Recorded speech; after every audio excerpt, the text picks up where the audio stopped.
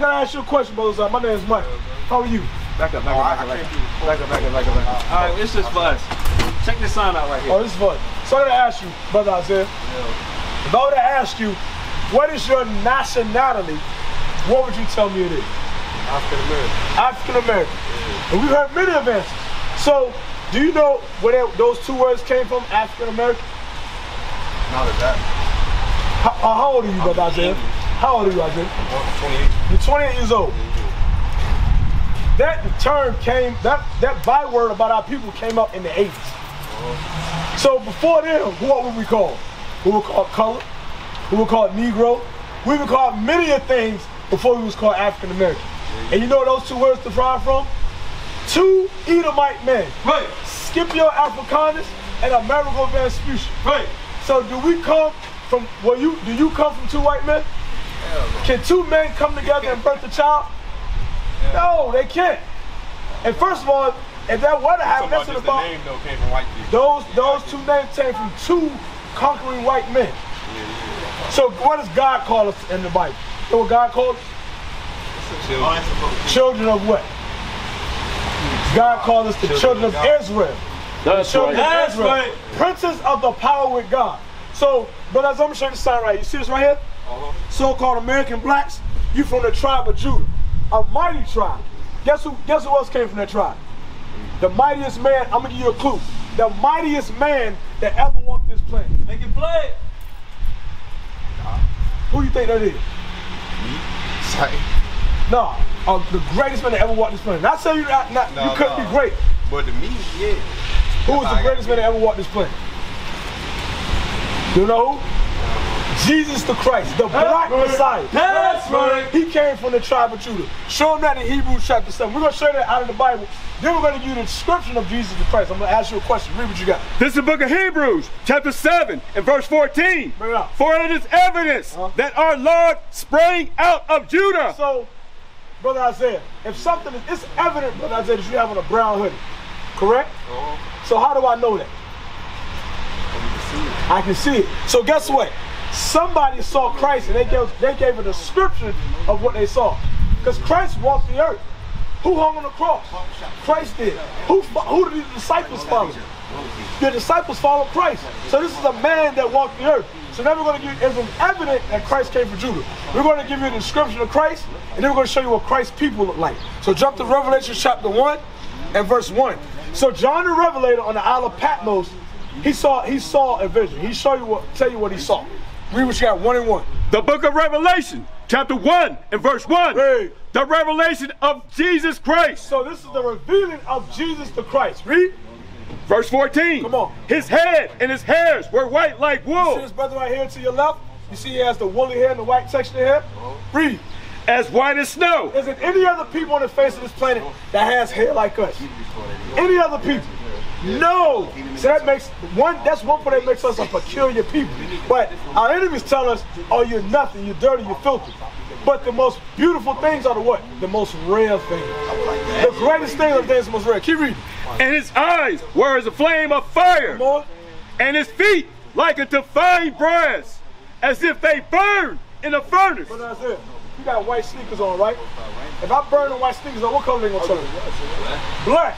So they said not only was Christ of brown complexion because he was the color of bronze, they said he was so dark as if he burned in a furnace. So not only did Christ have woolly textured hair, but guess what? Christ is a dark skinned man. That's So if you saw him walking the planet today, he'll look just like your brothers that surround you right now. That's right. So what does his people look like? Give me Jeremiah chapter 14 and verse 2.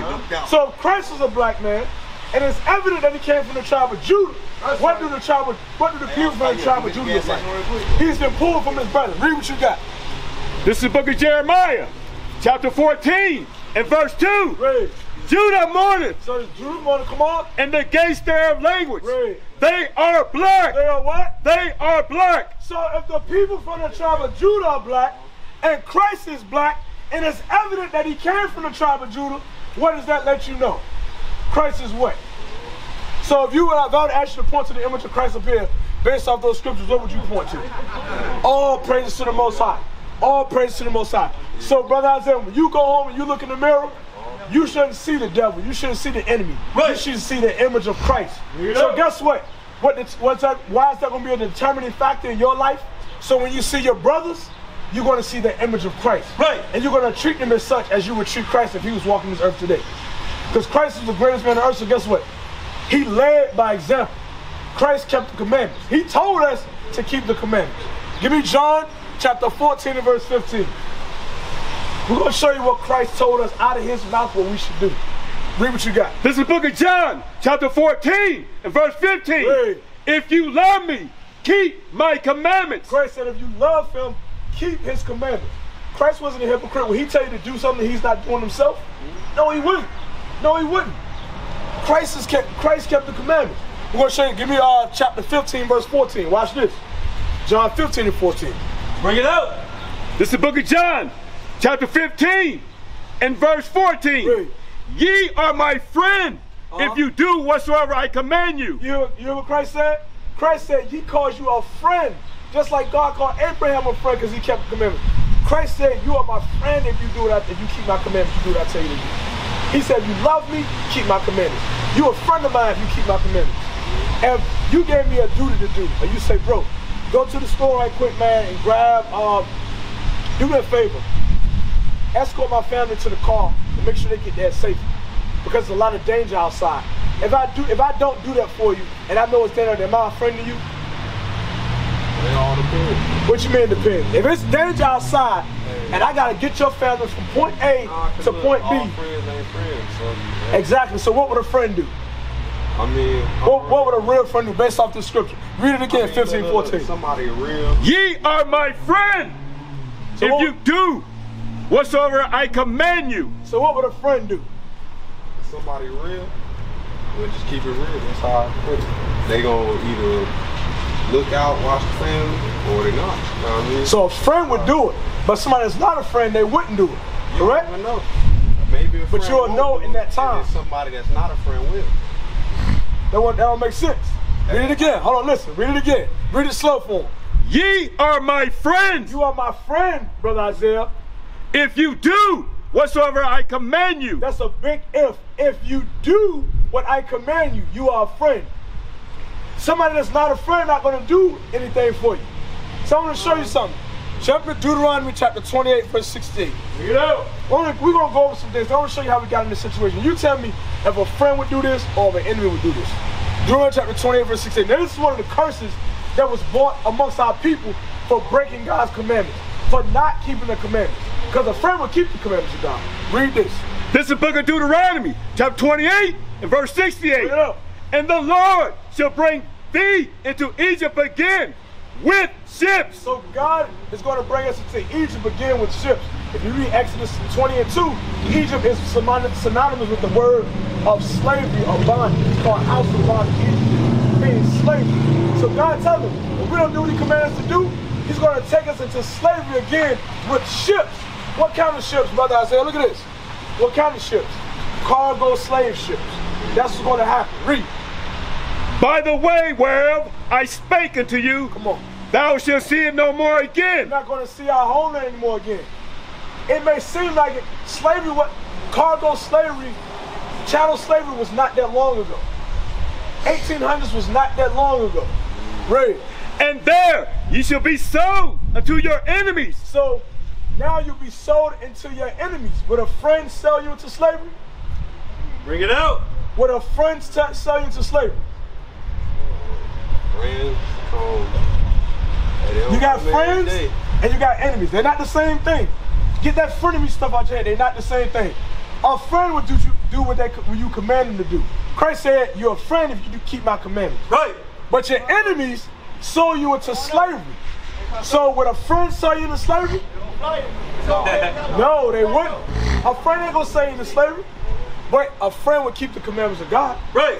Read, keep reading. For bondmen For slave men, and bondwomen. So we'll be sold to our enemies for slave men and slave women. Can you read it? And no man shall buy you. You know what that you means? An old Quaker told me to mean. Nobody will be able to redeem you. How many leaders, prominent leaders in our community have risen up, but it's to no avail, we haven't been delivered out of this situation? Many of them have. Marcus Garvey, Malcolm X, Martin Luther King, Nat Turner, he tried, He was reading the Bible, but he still wasn't keeping commandments. Many have risen up, but to no avail, nothing has come. We haven't any help. Nobody's coming to help us yet. Give me Lamentations chapter 4 verse 17. And then what else, what else do we do, Isaiah? What else do we do when we look for help? We try to go to the ballot box to find help. Right. We try to go to the other enemy, to the our enemies that sold us on auction blocks to find help. Right. The people that made the stock market was based off of you. Was based off of your forefathers and your foremothers. The whole Wall Street was based off of our captivity, our slavery. That's the right. whole entire world is spinning off our captivity. Right. From the records you selling up on, on the um, internet, from our sisters soliciting their body for sex. Right. For us eating this unclean food. You know how much pork belly go for on the stock market? Man, that thing up there with gold and diamonds. Pork belly That's crazy. on the stock market because Negroes, and when I say Negroes, I'm talking about blacks, Hispanics, and Native Americans, can't leave the damn pork alone. Wake them up. The world is spinning based off of our sin Right. and captivity. Um, what did I have you go to, so Limitation. Lamentations chapter 4 verse 17. So like I was saying before, we try to go to other, since we can't have ourselves, we try to go to other nations to look for help. But the help is right here in the Bible that God told us. The help is right here in the Bible. Lamentations chapter 4 verse 17. And we're gonna show you that. Because this year, a lot, many of our people across the country, where they could be going there? They be going to that ballot box, ready to vote. What's on the ballot? Nothing in our community. Who stands up for us in the UN? Who out of our people stands up for us in the UN? Who says, hey, in America, the so-called blacks and Hispanics, they're going through X, Y, and Z. Before they, they, they, before water, Ezekiel. they water is messed up in Mississippi. Their water still messed up in Michigan. Hey, we gotta do something about this rap thing. Do you know rap is banned in some countries? They said, no, we didn't have that garbage up in here. You got it? Lamentations chapter 4 verse 17. Watch this. Watch what the Bible says. Read. The book of Lamentations, chapter 4, verse 17. Come on. As for us, our eyes yet fail. For Hold on. As for us, our eyes have yet failed. For what? Keep reading. for our vain help For our vain help. Come on. in our watching, we have watched for a nation that could not save us. We watch for a nation that can't help us. That can't save us. What do they do? Keep reading. They hunt our steps, that we cannot go in our streets. Look what happens. How many, how many of our brothers and sisters have been gunned down or chased down? You know what? Let's not even talk about the police. Let's not even talk about the police. How many citizens, non-black and Hispanic citizens, have hunted us down in the back in the deep south? Recently, bodies popping up, people being hung. Bring it out. Finding brothers and sisters with all their organs missing. We've been hunted in the streets. Now, we, we're not even talking about law enforcement. We're talking about regular people. You can't even go for a jog around the block without us being hunted down by another nation. Video footage of a brother having laceration on his back, running for his life. And next thing you know, he found up disemboweled body parts all over town. And guess what happens? We look to a we look to a nation that can't help us.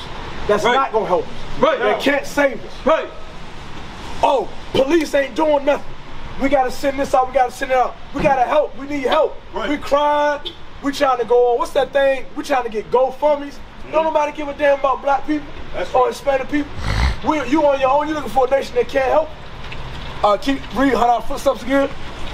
They hunt our steps, Come on. that we cannot go in our streets. Come on. Our end is near. Uh-huh. Our days are fulfilled. Uh huh. For our end is come. You see that? We have no hope. But guess what we do have hope in? The Bible is our hope. That's God's right. law, statutes, commandments is our hope. God gave us a duty. You know what your purpose is in life? What your duty is in life? As an Israelite man, because you're from the tribe of Judah. We showed you how the Bible. Right. And Christ, the black Messiah, told you, hey, if you my friend, keep my commandments. Because he gonna, he gonna deliver us out of this mess. You see all this right here? Look behind you. Look behind you. You see all this right here? This gonna be oh, desolate. This place is gonna be level. Right. Level. Right. None of this gonna be here. Goodbye Charlie. Goodbye Burger King. Goodbye Shell. Goodbye Family Dollar. All you see that brand new construction over there? Mm-hmm. All that for night. All this gonna be gone. Right. Go. Nuclear destruction all over the place. You gonna That's be delivered right. Up out of here. But the only way you get delivered out of here if you keep God's commandments. What is a nation?